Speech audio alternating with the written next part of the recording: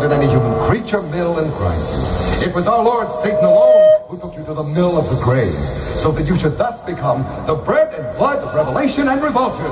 I spit upon you and I cast you down in memory of Satan, because you preach punishment and shame to those who would emancipate themselves and repudiate the slavery of the church. Why do they say